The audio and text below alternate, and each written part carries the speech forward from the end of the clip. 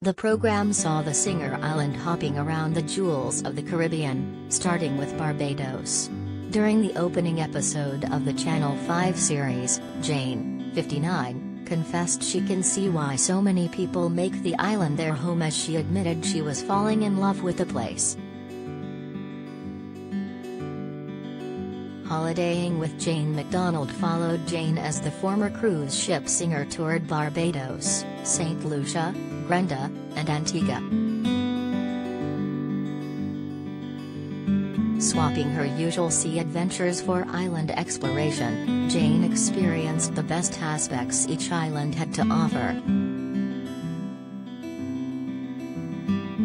At one point during the first episode, Jane met with a tour guide called Dawn Lisa to get a glimpse into the hidden gems of Barbados.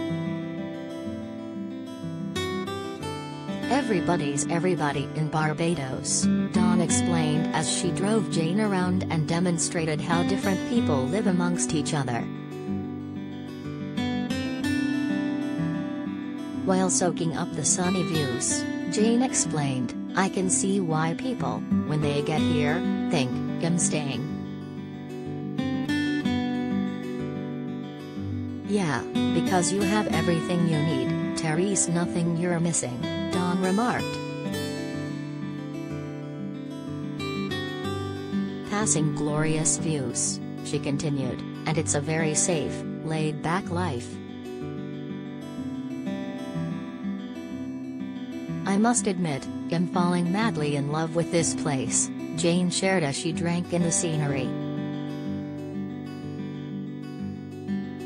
Are there quite a few celebrities that have houses here? She asked the local. Dawn replied, Yeah they do, they actually call Simon Cowell the local celebrity because has always here. Passing one house, she casually continued, this one, I had a party here with Mariah Carey and Nick Cannon when they were still together.